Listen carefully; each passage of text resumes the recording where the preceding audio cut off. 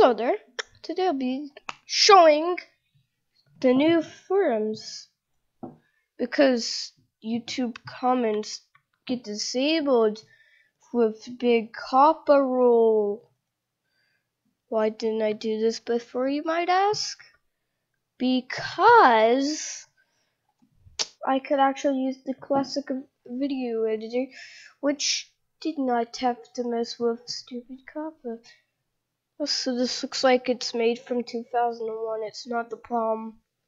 That's the only reason why it looks like it's from 2001 is because the modern one not only leaks all your personal information in your um profile, but also it's on a 14 day trial, which is a shame because look how nice this looks.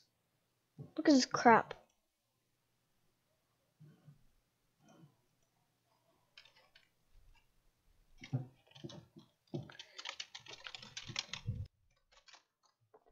Anyway, um,